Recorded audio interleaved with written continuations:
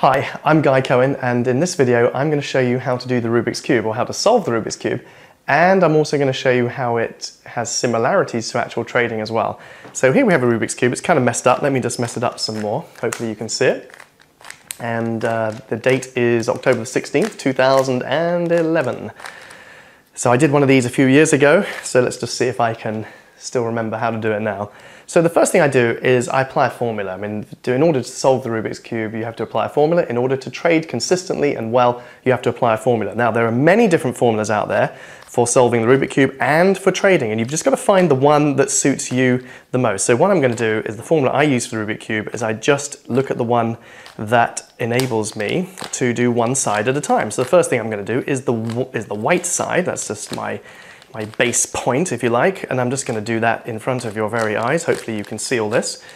And as I'm doing it, I want to emphasize again the point that trading is like a formula. Now the formula that I use is one where we have a chart pattern, we have a look at what insiders are doing, and then we apply a trading plan. So we're almost there now. We've just got one more, one more little thing to do, and then we have uh, done the first side of the Rubik's Cube. So I'll just repeat that in a second.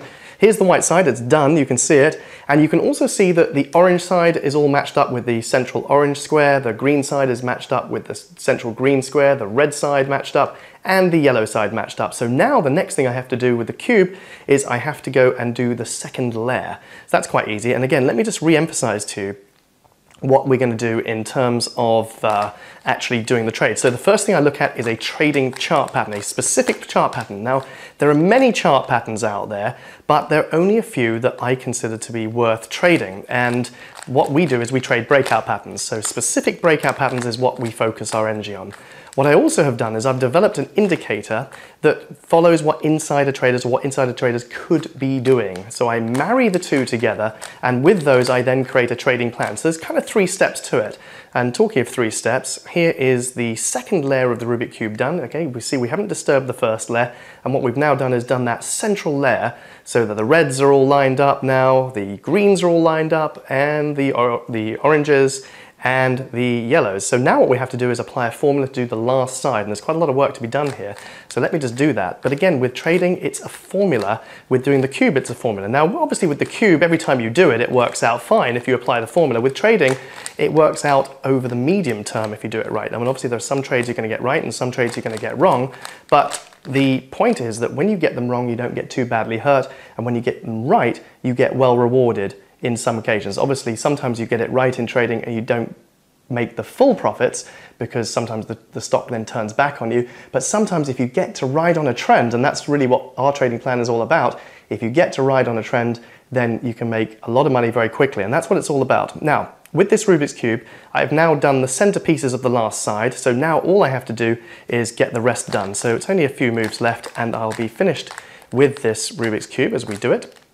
Um, now I'm literally, I can tell you that the formula says that I am 32 moves away from completing the Rubik's Cube. So let's just have some fun with this.